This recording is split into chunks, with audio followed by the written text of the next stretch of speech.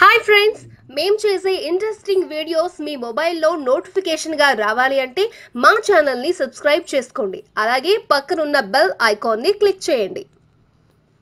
Hello viewers welcome to our channel ఒక పక్క ఆషాఢం sale జరుగుతూ ఉంది మార్కెట్లో.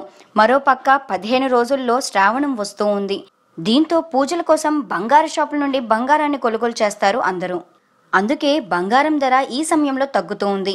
కానీ ఈసారి మాత్రం మార్కెట్లో బంగారం ధర శ్రావణ మాసం రాకుండానే మార్కెట్లో పెరిగింది. కేంద్రం విధించిన పన్నులు కూడా దీనికి కారణమయ్యాయనే చెప్పాలి.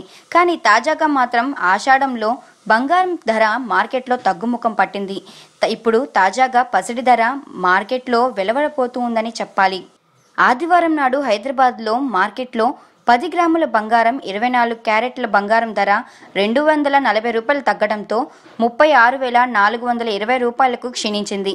అంతర్జాతీయంగా బలహీనమైన ట్రెండ్స్ ధర జూలర్లు రిటైలర్ దగ్గర నుండి డిమాండ్ మందగించడం ధరలపై ప్రతికూల ప్రభావం చూపించింది.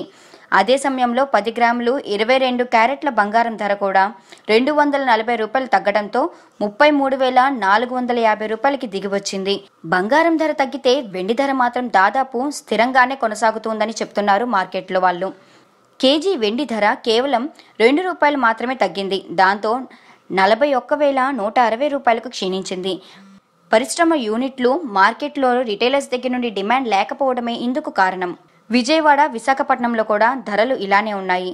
ఇక మార్కెట్లో బంగారం ధర హెచ్చుతగ్గులకు చాలా కారణాలు ఉన్నాయి. గ్లోబల్ మార్కెట్లో శుక్రవారం బంగారం ధర పన్నెండు శాతం తగ్గింది.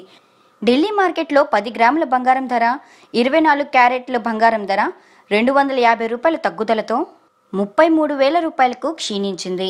అదే సమయంలో వెండి ధర మాత్రం ounce zero point two zero శాతం పెరుగుదలతో పదహారు పాయింట్ ఇరవై మూడు డాలర్లకు చేరింది. అయితే వీటన్నిటి మధ్యలో గ్లోబల్గా కానివ్వండి మన నేషనల్గా కానివ్వండి వెండి ధర మాత్రం కేజీకి రెండు రూపాయలు మాత్రమే తగ్గడం గమనార్హంగా మారింది.